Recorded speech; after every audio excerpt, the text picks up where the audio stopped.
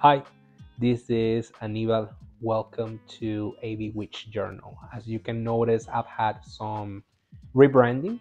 So, yeah, welcome back to my channel. I'm very, very glad that you are here with me again to another book review. Uh, but before I start, I invite you to like, um, subscribe. Feel free to click on the little bell icon. So, today I'm going to talk about this wonderful book. You can see right here Cunning Words, a grimoire of tales and magic by Marshall WSL, which is Sutherland. Incredible book. I think that this is a perfect book to get started in witchcraft, um, to learn more about recipes, to connect to different archetypes. And I'm going to talk more about this as the video continues. But yeah, I wanted to say that this book was incredible. It was a great experience. It was wonderful. I learned a lot, and I feel that it doesn't matter where you might be from, you can connect with this book. As you continue reading, you can notice that the book is very universal. It connects with archetypes more than anything else. Of course, we can see things that are associated with traditional English witchcraft, like flying in the spirit, contracting with a familiar, or yeah, like a witchcraft type of initiation. And the writer, uh, Marshall, he mentions that he got his inspiration when it comes to talk about the mother in red, the mother in green, and the mother in black from Gemma Gary's books. Marshall gave their own interpretation to it and created newer or maybe more recent versions or, or styles um, related to that story. I am the type of person that likes to create spells. I'm right now working on a grimoire. I'm working on my own oils and candles and whatever. This book has recipes, has formulae, but also has such a way to present a story to you and you understand and you connect with the story the behind that recipe it makes you understand so well the reasoning it makes you understand so well the reason of why that formula it's done in that way. I like to change every recipe and spell that I read from a book so I can give my own signature. Typically I change 50 or maybe 40% of the spell, but from this book I barely have felt the need. It's so well created and it I it connected so well with me that I barely made changes at the time to perform a spell from this book. Again, I, am big fan of putting my own signature to spells, but I do feel that this one is perfect as it is. Now, something really cool from this book, as I showed you, this is the cover. Marshall created the illustrations,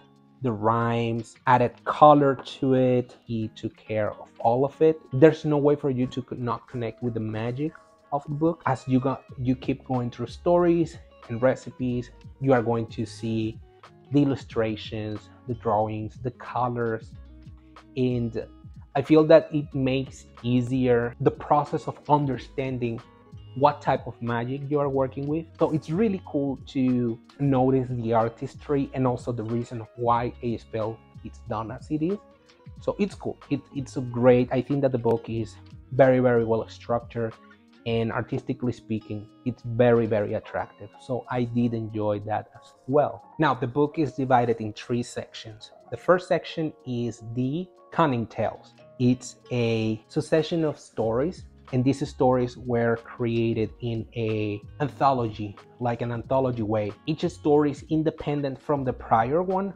There's a few stories that are connected but you can read them as a standalone digest the spell that they are talking about in that story and continue without affecting your understanding of the prior story and the next one. However as you go through the story, you can see connections between characters. You can see how a story might be related to one that you read or some one that you are going to read in the future, but it does not affect the structure of the story. You can read the, the stories in whichever order you want, and that's okay. But I do feel that it's important to read the stories first before trying to practice the spells that appears in that first section because I do feel like those stories give you a background of what you are going to be doing and what is supposed to be the result, if that makes sense. So, as you keep reading through this first part of the book, you are going to learn how to meet the man in black, the devil. You will fly in the spirit. You are going to heal. You are going to charm. You are going to do glamours. Now, something that I could not help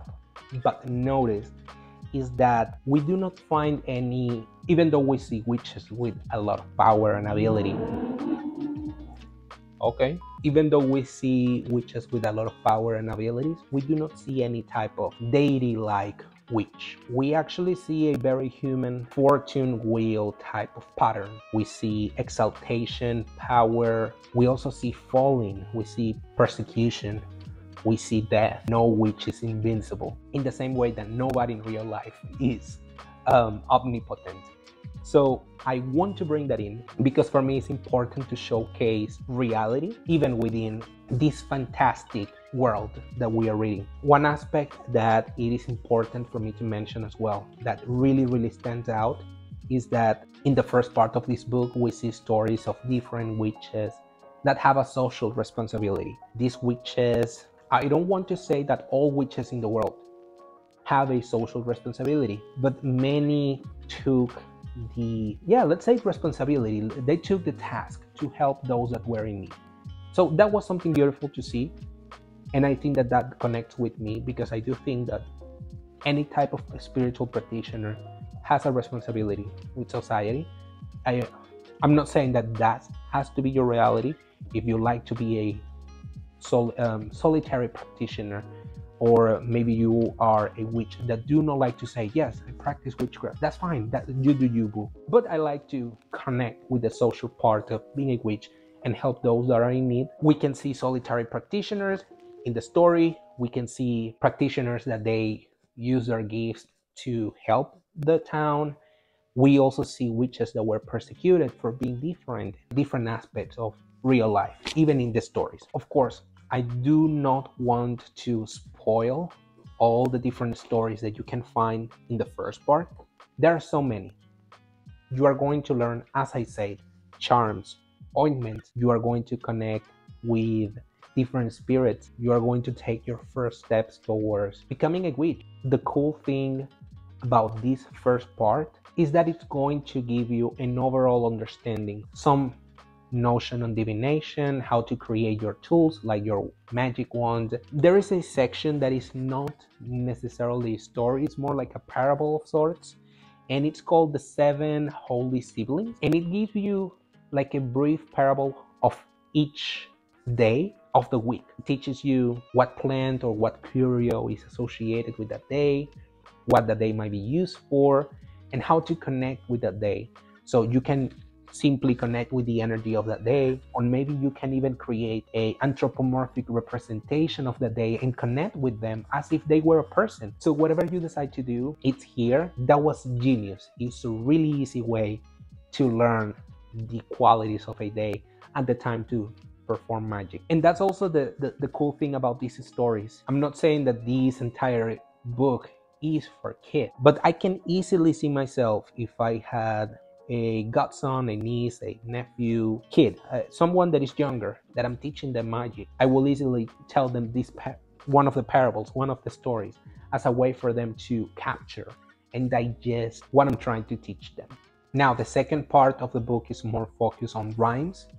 The name actually is Cunning Rhymes. You can also see stories. Um, there's actually one that turns around a character whose father is violent against them and they perform a spell through the spirits of the river. Very cool story. Very unique, but it's a rhyme at the end. I think that it was a very, very solid section. You have to go through each rhyme and you have to sit down and digest them. Now, English is not my first language, so there were rhymes that I had to sit down and, as I said, digest. I had to wonder okay what am i reading? How am i supposed to do this? I'm not saying that you will have to go through the same. Maybe you just get them and you will be like okay what's happened with this dude? Now this chapter as i mentioned you are going to find different bells oils. Um, you are going to get the recipe of how to make your own cunning oil how to make puppets in the there is a particular spell that I find my favorite. I think that is my favorite in, of that section, um, which is the Song of the Cicadas. Uh, cicadas. I don't know how to pronounce that word, but it was such a unique way to manifest. I never thought about using the song of an animal to bring someone in onto reality. It's so smart because Marshall literally did what many other cultures have done, connected with a spirit that is already nature. It's not creating something new. It's using what is already in nature. And why not connecting a, a petition and an offering to that song as that animal is singing? That song is, uh, that petition is becoming real and more real. Um, it, it, was majestic. It was incredible, and I think that it was a genius spell. The third part of the book, the Cunning Compendium, was the cherry on the top of this book, this creation. It's more complex. I do find some of the recipes, some, not all of them, um, some of the recipes and spells that appear in the third part of the book a little bit more complex than in the first episodes and the first chapters. Sorry, this is not a book, a TV show. What the heck?